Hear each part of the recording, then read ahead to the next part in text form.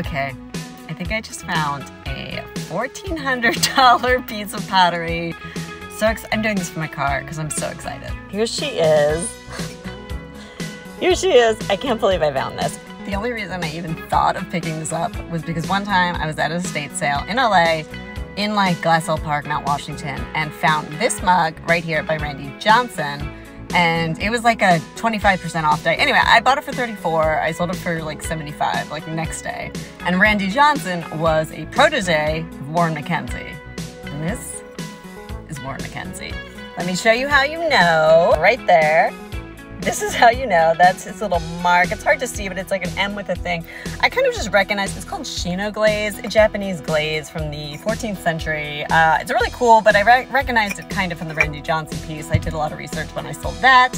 So it makes me want to go to state sales more because I don't go because they're so expensive. But you do learn a lot. So, oh God, I'm so excited.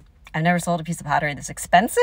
That's one for sale for 1400 We'll see if I actually sell it for 1400 I will update you when I do sell it. Today, what a day. Oh, same thrift store. Also got John Lennon, Milk and Honey. 19.99, but it's 75% off, so it was only five bucks. Ugh.